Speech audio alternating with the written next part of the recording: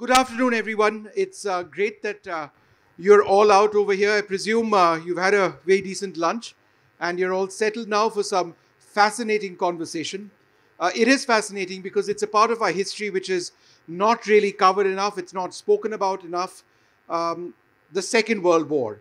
Uh, whether it's uh, the Second World War as a, a, broader topic or the role of India in the Second World War, the broad of the role of Indian citizens or Indians in the Second World War. They weren't Indian citizens, but the idea of India certainly preceded uh, the Second World War itself.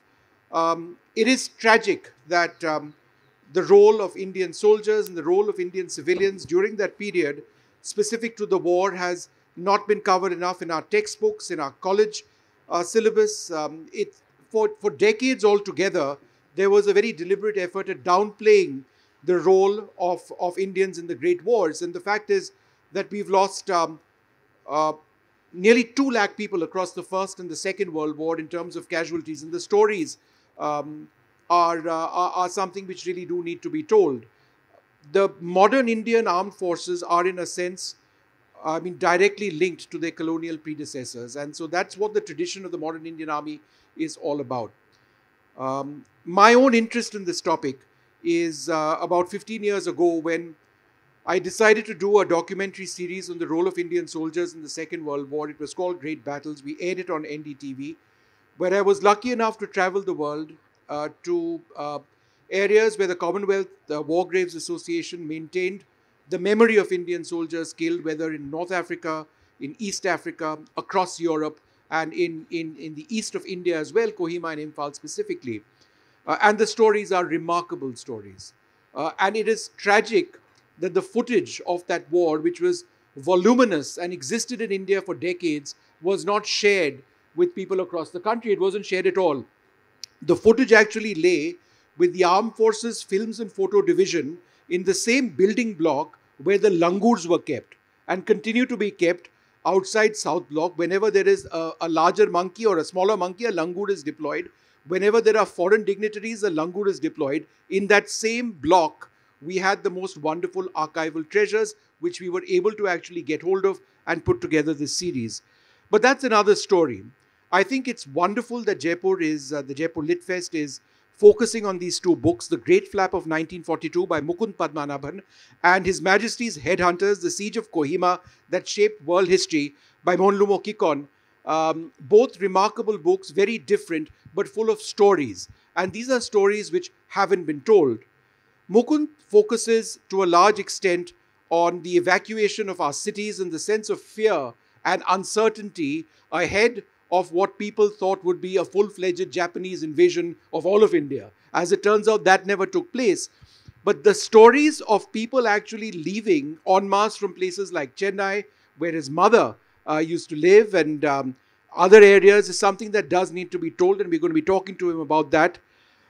Mmhonlumo has written this remarkable book on one of the most fierce tribes or, uh, or people of India, the Nagas, the modern day Naga regiment of the Indian Army is known for its valor, it's known for its grit, it's known for its Dao, and they call themselves the headhunters. Now, this is not just some sort of popular uh, name, the headhunters, which sounds kind of cool.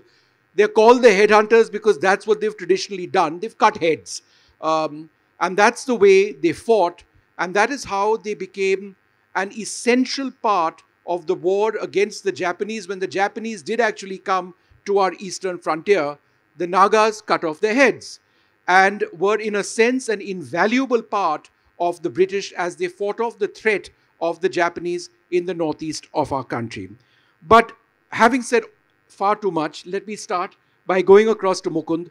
Tell us about the sense of fear that existed ahead of what was thought to be Japan's big invasion of India. Yeah, um, well, when I began the book, um, I was aware that there was uh, a sort of wholesome exodus uh, from Madras.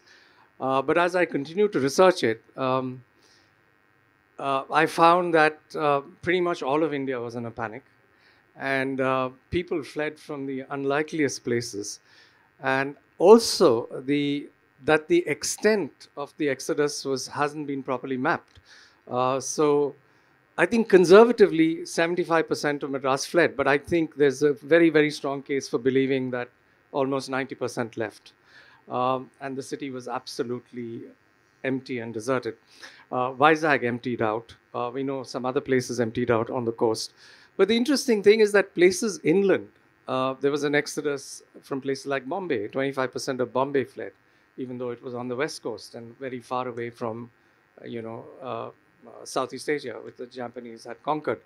Um, and also unlikely places uh, which, uh, such as Ahmedabad and, and um, you know, uh, Kodaikanal, pretty much all over South India, Hyderabad, Bangalore.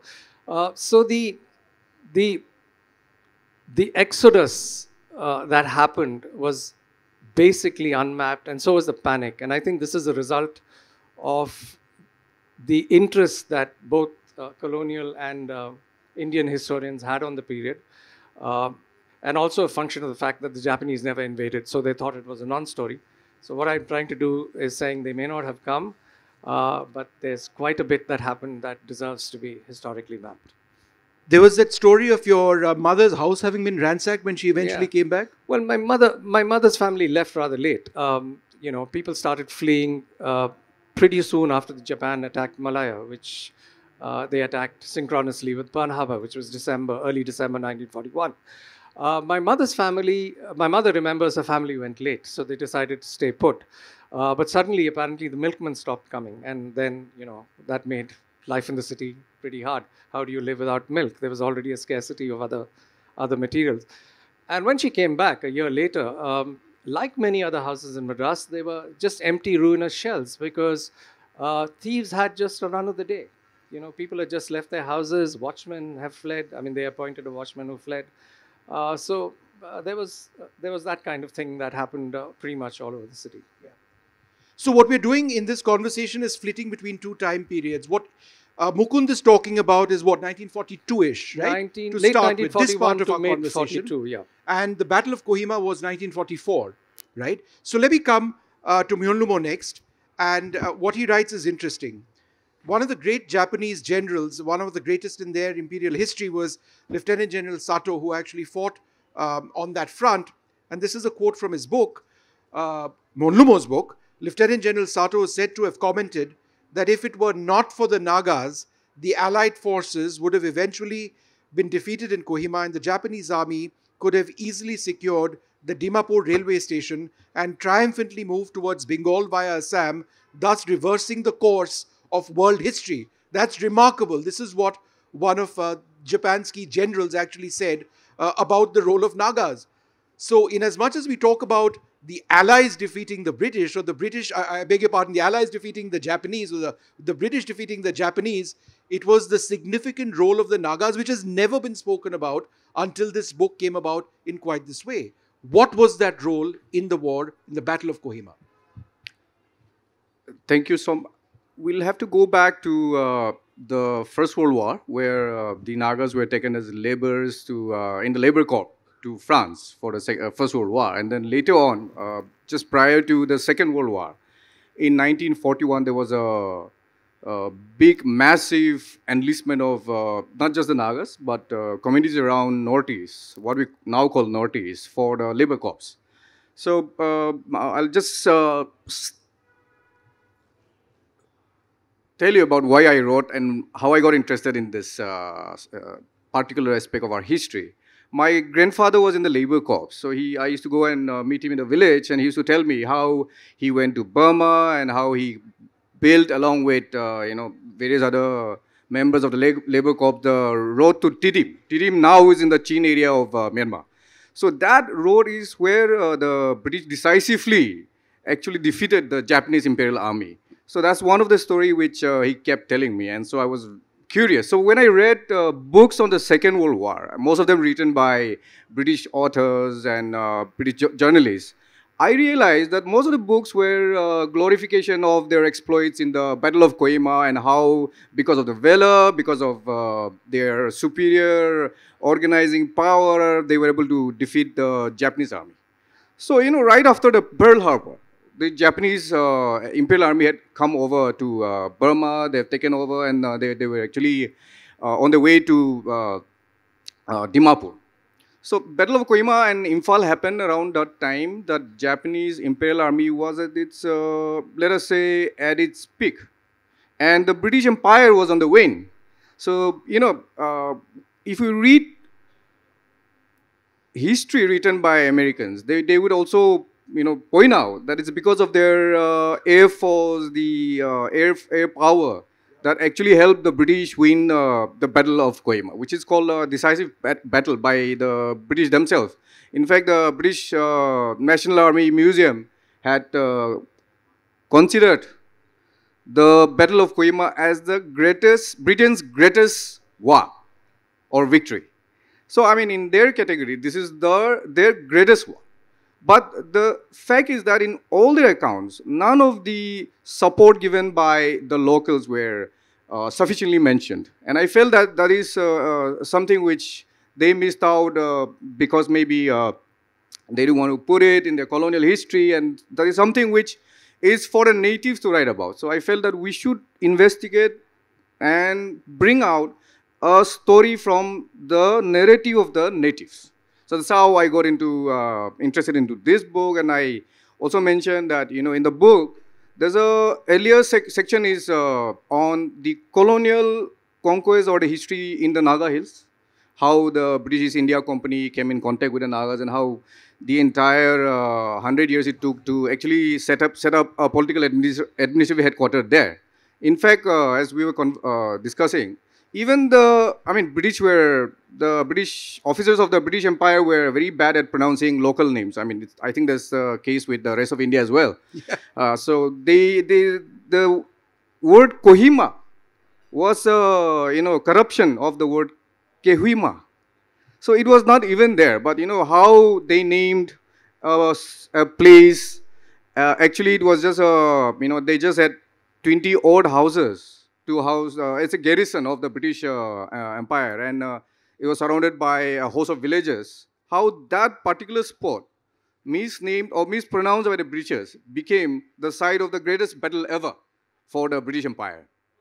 No, absolutely. And when he, you know, he talks about the Battle of Kohima, we, we've, we've all seen films, for example, uh, Enemy at the Doorstep, or we've, we've read about the Battle of uh, Stalingrad, the Normandy landings, some of the other great battles, the Battle of Monte Cassino it's widely believed, or, or the battle of, or, or some of the great battles in El Alamein, it is widely believed that the Battle of Kohima, eh, in, in what is right in a part of our country, is one of the most horrific, difficult uh, military battles in the history of warfare, and perhaps the single greatest battle fought in the Second World War. It's just not uh, spoken about in quite the same way. But let me jump to a few years back once again as I go back and forth. Um, you also write, Mukund, a great deal about the role of the Imperial Japanese Navy. Uh, the fact that um, they were very heavily deployed. In fact, I find something quite interesting. You mention um, how waves of aircraft bombed Colombo, and a few days later, the port town of Trincomalee. These were uh, warships uh, which were bombing. These were Japanese planes which were bombing, some deployed off their aircraft carriers. Off Ceylon's eastern coast, the venerable British aircraft carrier Hermes and its companion the destroyer Vampire was sunk, killing over 300 men. I find the name Hermes interesting because Hermes became, in its second avatar, the Hermes which won the British, the Falkland Islands War. It then was sold to India as INS Virat.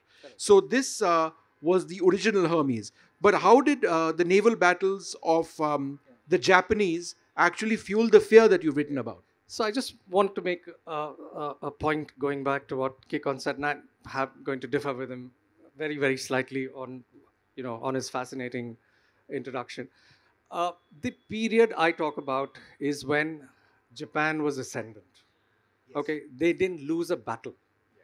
There's no battle that they lost. They went into Malaya, they, they took the Dutch Indies. The British didn't win a thing. They lost everything. They surrendered Singapore. The in 42, two events take place that actually virtually cripple Japan as a kind of naval power, which is the Battle of Midway and the Battle of Coral Sea. And uh, so, with due respect, um, the Japan couldn't have had those the same kind of imperial ambitions after that. Uh, they were weakened considerably by the Battle of Kohima, and despite the resistance and everything else, uh, you know, I think the British had armed themselves uh, by 45, I think, and General Slim was able to, you know, push back uh, fairly easily, um, despite some resistance into it. And I'm not denying the importance of the battle or the savage savagery cause. But in 42, they were a force that, you know, even Churchill, who mentions the Indian, op- saying it's the most dangerous moment in the war, he calls it. Uh, uh, you know, not not not Europe, but this, and this is when Nagumo, who's the hero of Pearl Harbor, sails with a fleet of I can't remember, maybe six aircraft carriers, into uh, into the Bay of Bengal, looking for the British Eastern Fleet, which was based in Singapore. Singapore had fallen, uh, so they moved to Trincomalee, and and they're looking to take down the British naval fleet. But fortuitously, rather like Pearl Harbor, when some aircraft carriers were away, uh, Somerville, who headed the Eastern Fleet, had taken uh, a part of his fleet to the Maldives, in a place called Addu Atoll, yep. which was unknown to the Japanese as a base. So essentially, what they do is they bomb Colombo, they bomb the 300 planes. It's not a small operation. They bomb Trincomalee, they take down the Hermes, they take down other ships, um, and they leave. Uh, and at the same time, there's another fleet, a smaller fleet uh, led by a man called Ozawa, which is just merrily picking off merchant ships in the uh, Bay of Bengal, just shooting people over two days at random. And these stories haven't been, um, you know, the merchant stories haven't been fully told. I mean, sometimes we talk about the bombing in Vishakhapatnam and Kakinada that we know about. Uh, but the merchant ship story, I find, uh, hasn't got the importance it, it, it, it deserved because many, many ships were sunk, many people were killed, and there were a whole lot of survivors who were washed up uh, to the shore at that time. Uh, so yes, uh, you know, uh, they came close, and uh, when they came close to India, um, it frightened India a lot more. And this is when Cripps was here, by the way. We'll talk about Cripps in a moment, but I'm going to jump to your story, back to your story. I think one of the most fascinating parts of your book is your entire description of the fighting culture of the Nagas. I'm going to read out a couple of uh, a couple of bits uh, and then ask you to talk about it. You write on the question being once put to the Nagas whether they would like to become the subjects of the company, they promptly replied, No, we could not then cut off the heads of men and attain renown as warriors, bearing the honorable marks of our valor on our bodies and our faces. Um, decapitating with the right blow of the dao, right? Or headhunting was the most significant art of warfare practiced by Nagas from the ancient times right up till 1994. Right? So, could you tell us a little bit about this culture? Um, it was about tribal honor, right? It still is in a sense, though that's not allowed anymore, uh, last I heard. So, I mean, I'll uh, put in a disclaimer first. I'm not a headhunter, so you don't have to be scared of me. but I, I just uh, would like to uh, share one story about a friend of mine who died in the Kargil war. He's the only Naga to have uh, received the Mahavir Chakra. So it's like, uh, according to Vishnu Som, is the second highest uh, wartime wa- gallantry award. Gallantry award. So he died in the Dras sector. So he was the captain of the Ghatak platoon. So they were tasked with capturing that Lone Hill there and uh, they decided that because they could, the Indian army could not proceed beyond that, and it's like 16,000 feet of uh, minus 10 degree, uh, you know, uh, area hill. So in the night, he went up, and uh, there was some uh, fight with a gun, but ultimately, he used his bare hands and the kukri. So kukri is like a smaller version of our traditional dao, which we use for war. So he used that to actually go and, you know, just capture the hill. So in the process, he was shot in the abdomen. He, he died, and he won the Mahavir Chakra. But he was only 24 years. He was a friend of mine. So it kept me thinking because in 1994, it was a very sporadic, isolated, even in the cornermost part of Nagaland, bordering Myanmar, where two villages fought with the dao, cutting the head of each other. So that was the, after a very long time, a rare incident occurred of headhunting uh, in the Naga hills. But you know, I felt that because it is in our animistic tradition and culture that for a man, a rite of passage is the taking of heads. Unless you take the heads of another, uh, of an enemy head, you will not be allowed to get married. And this was like practice, uh, you know, from 19th century backwards. So I would say that that was part of our culture then. And because of the advent of Christianity and all these practices stopped, we no longer are. But if you look at the uh, preferred choice of battle that our army officer took, it was with a hand. And um, I would like to quote uh, the former chief minister of uh, Chhattisgarh, Mr. Raman Singh, who said, because that time uh, the, the, the uh, menace of Maoism was at its height in Chhattisgarh, especially in Bastar region. And they had engaged the Indian Reserve Battalion from Nagaland. So these Nagaland armed forces went there and they were uh, utilized for the jungle warfare. The comment or the observation of the both the police establishment and Raman Singh was that the Nagas are the best in jungle warfare because they can eat anything and live off anything in the jungle for the longest period of time and they can climb any mountains they are trekking uh, if, you know uh, capacity is uh, excellent and in the the way they attack the maoist in the battles there was you know not just uh, any battle but it was terrifying for the Maoists to face the Nagas. So, I mean, in his comment, it makes me realize because, you know, most of the Naga soldiers, although they were given sophisticated weapons, they were airdropped by choppers in the Bastar, the hills of Bastar, which is very thick, they still brought their Dao along with them in the battle. So, I think that in a sense, you know, when you decapitate a head, it is believed that the spirit of the, or the soul of the person is, lies in the head. So unless you decapitate the head, you will not have a decisive control or victory over that enemy. And that was a practice. And in the past, they used to hang the heads on their, uh, you know, uh, spears. Yeah, with a spear. Yeah. Spear and dao, actually. Scary stuff, huh? uh, we need to be a bit careful of him after this session. You know, it's rather uh, impassioned at this stage. You know, Mukund actually speaks uh, in his book about the terrain that uh, the British and the Japanese operated in as they went up the Malay Peninsula past Singapore uh, into what is now Myanmar, Burma, then, and eventually uh, onto India's northeast. And as we visualize in this conversation uh, what exactly we are talking about, I think it's important to talk about the terrain as well. And I'll ask Mukund to do that. So he talks about geography a rainforested mountain range about 650 kilometers from north to south ran like a thick green spine down the middle of the peninsula. Streams that grew into swiftly flowing rivers emerged in it like tendrils that emptied out on both sides. The Straits of Malacca on the east and the South China Sea westwards. The coastal plains were made up uh, of a mix, the conquest of Malay- Malaya, of mudflats, sandy beaches, mangrove forests, throw in jungle swamps, rainfall, venomous snakes, and that's what they were fighting in. How was geography such an important aspect in uh, in the eventual defeat of the Japanese?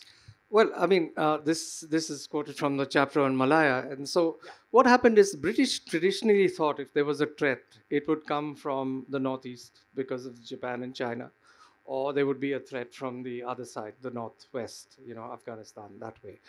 Uh, it wasn't anticipated that the threat would come from Southeast Asia. So, also, nobody at that time expected the Japanese to land in the north of Malaya and actually make their way down. Because the moment they landed there uh, at Kota Baru, which was the first place, uh, if you look at the literature at that time, it was like, hey, uh, they can't make their way down.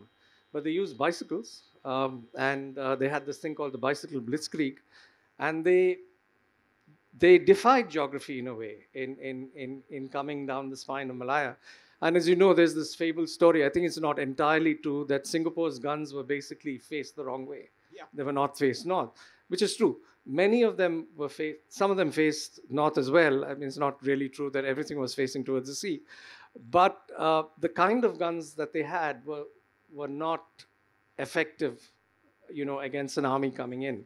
So um, in effect, they were not prepared at all for a siege of Singapore, which was the most important base uh, that they had. because the British kept telling Indians and telling the world that as long as they had Singapore, there was nothing to worry. And then Singapore collapsed. You know, when you're talking about the Singapore, the collapse of Singapore, there was the evacuation of Singapore as well. There was the evacuation of Penang as well. Yeah. And I picked out a bit over here where uh, you write, Asiatics were not allowed to leave by the same boats as uh, as the Westerners, uh, not even women and children, describing it as disgraceful. He added, um, "You're talking about one of the evacuees. I do not think the British people will ever live it down." Um, at the Federation of Indian Chambers of Commerce and Industry, or FICCI meeting in Delhi, Rajbali Jumabhoy, president of the Singapore chapter, pointed out that no Indian was allowed to leave after Penang suddenly fell into Japanese hands. So even the evacuation was was racist. Yeah. So, so in Penang, uh, which had a large uh, European population, the Japanese came in and bombed. And at one point, the entire white population of Penang fled, uh, organized, and then they were put on trains and sent to um, uh, to Kuala Lumpur. Uh, and the rest of the population wasn't informed that they were going to go. Uh, there is, of course, some controversy on whether you know the white population were ordered to go or not. But irrespective of that, it was a pretty, uh, not to put too fine a point of it, uh, a sort of almost a racial, evac- a racial evacuation. And I think Chris Bayly, the great Cambridge historian who's written on this, I can't remember the exact quote, but he's quoted there. He suggests that it was Britain's most shameful moment in the war. After uh, Penang fell into Japanese hands, there was no one to defend Penang. So the army had moved out, they just moved in. Um, there was this issue of sending people back from Singapore and Malaya. And uh, there is enough, enough evidence to suggest that, um, you know, there were white people were evacuated uh, and uh, it was more difficult for Indians to get on board. And there was a controversy over this raised in the Central Assembly. Uh, Linlithgow himself, who was Viceroy of India, felt and differed with Amery that he felt that there was racial discrimination in this. So I think there was, there was some. One more question to you Even before in the evacuation from Burma. Sure. yeah. One more question to you before I go back to Mmhonlumo. Um, the Cripps mission, which was uh, very much a factor in 1944 onwards, Two.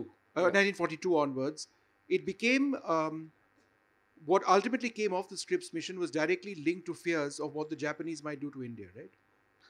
Well, I'm glad you asked that question because most historians uh, deal with Cripps uh, by dealing with the formal substance of his offer. Here's what is offered. This is not good enough. Here's a counter offer. Maybe that's not good enough too. This is what we want.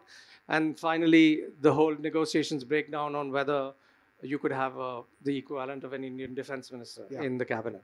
Uh, this is the this is the sort of main story. Uh, but I think at the very least, Cripps, the mission and its failure needs to be examined against the light of what was happening in India.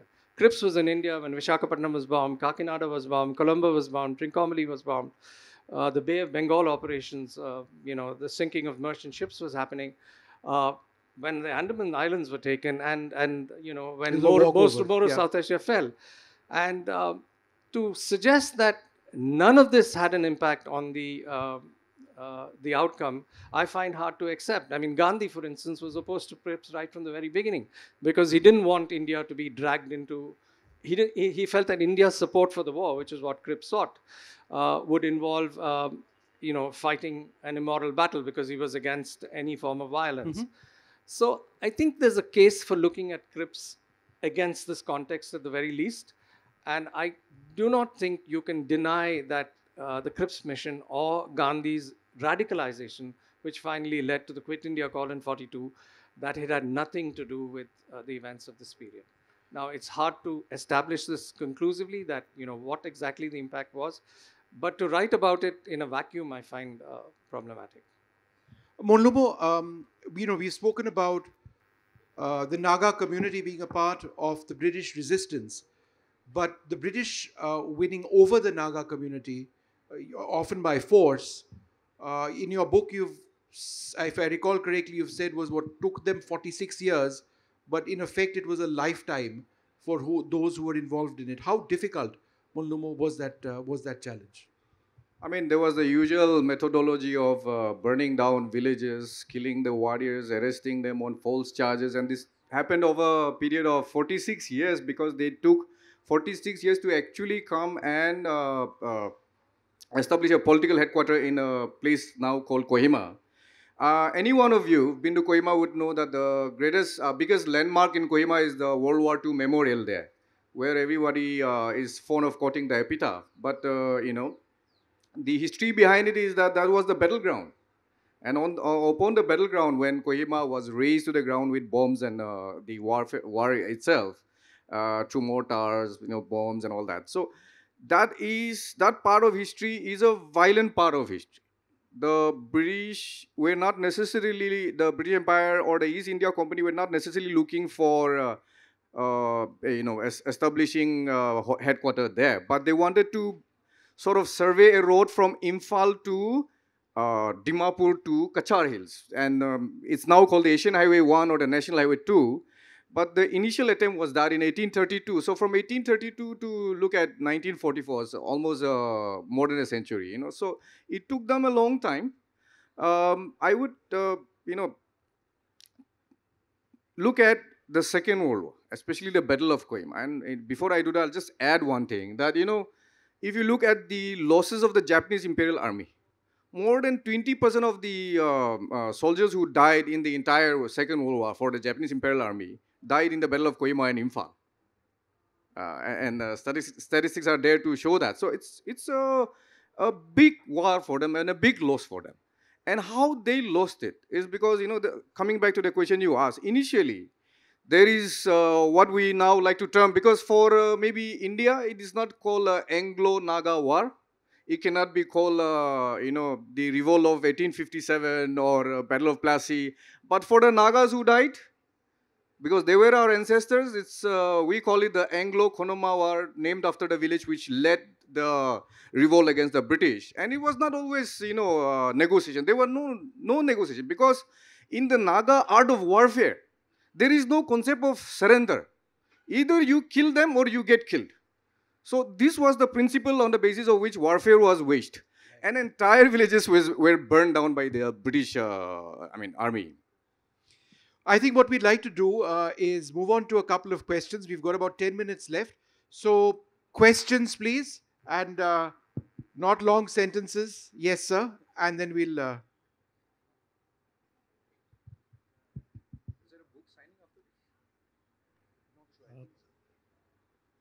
Go ahead. Check. Can you Go hear ahead, me? I don't think you can hear me. Can you hear me? Just speak loudly. Uh, I might as well use my parade ground voice then. uh, I just uh, wanted to check out uh, the fact that uh, while you have spoken, both of you have spoken very eloquently about the fact that uh, there was a lot of uh, British involvement and all. Uh, coming back to you, sir, what about the Stilwell Road? Uh, did that also contribute towards the Nagaland uh, aspects and whether the reinforcements could come through the Stilwell Road uh, down to the uh, people?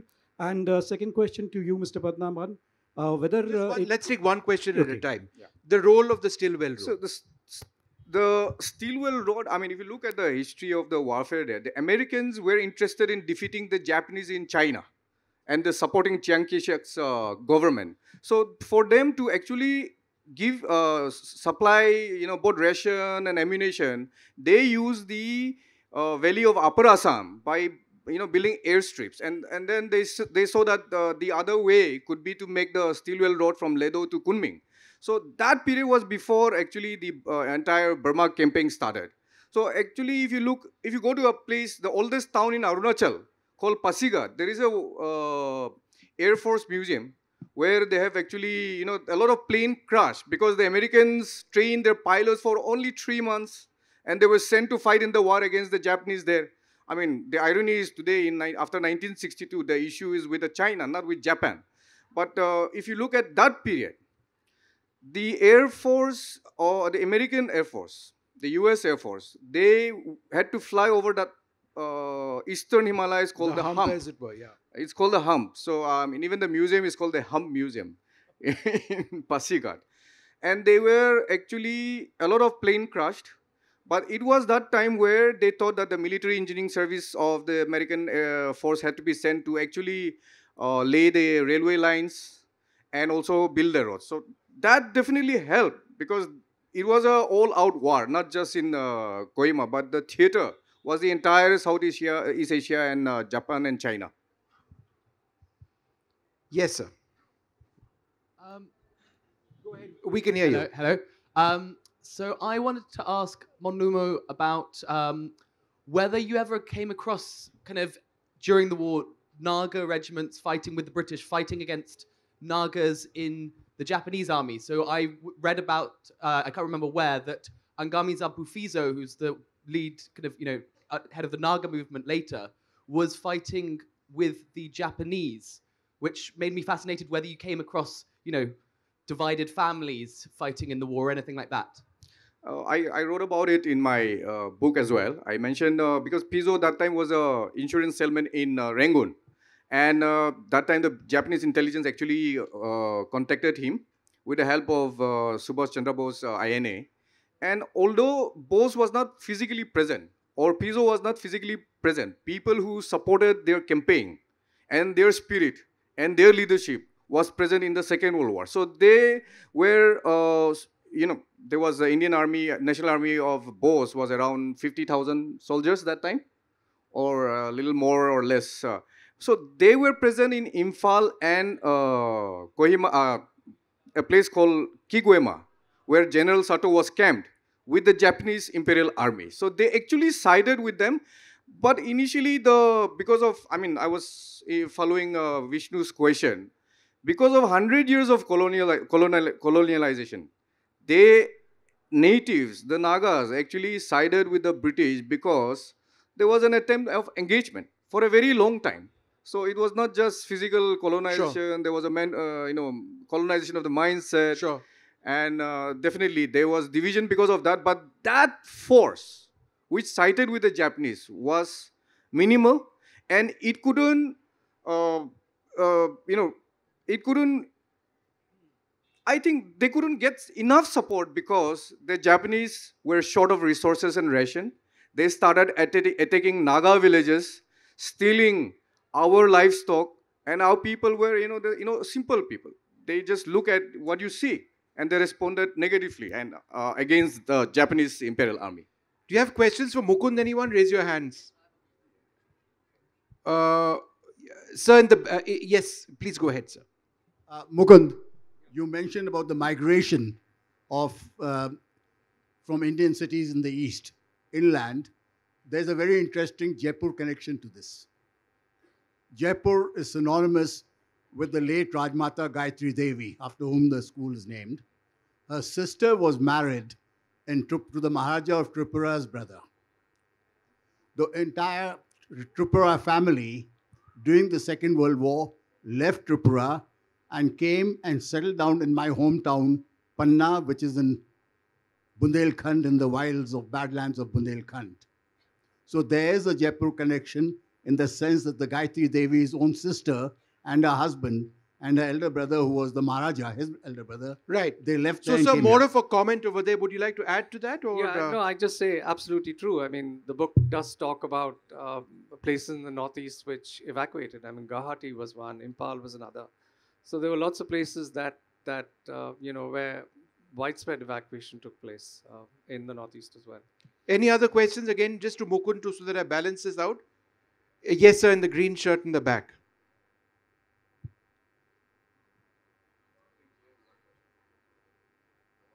Yeah, uh, already. Thank you. Um, I have a question beyond what was happening around India, more from a Japanese point of view. Uh, reflecting on the Second World War outcome, would we say that the Japanese were more distracted looking at China, Russia, getting into India since from the Southeast Asia, than looking at how to defend against the US, which I think they decisively lost against? Well, you know, the Japanese never wanted to scrap with the US. The Japanese only wanted to neutralize uh, uh, the US Navy.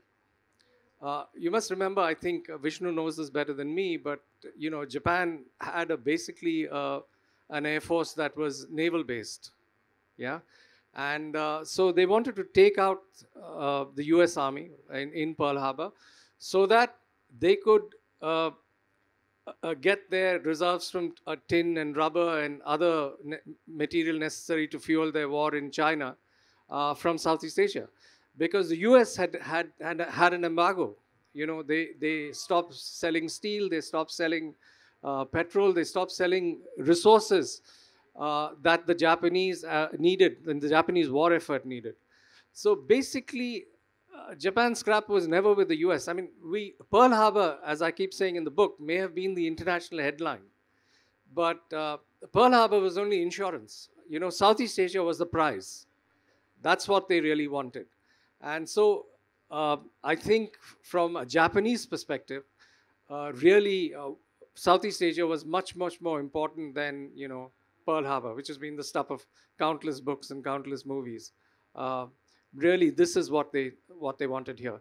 They didn't want to come to India, at least at that time. They only wanted to create a certain degree of havoc in India, and of course, use the INA, which they did uh, quite effectively for a while.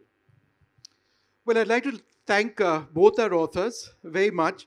And it is just fascinating that uh, the entire eastern frontier, as it were, what goes around comes around in history, is now so active. When we talk about Burma, and we didn't really get into the Burma angle at all, uh, both authors have actually written uh, about that in their books. Uh, it is active now. There are threats, concerns. The entire geostrategic space on the east of our country is so very important. It all happened several times in the past as well. I'd like to thank all of you so much for coming to this session. Thank you.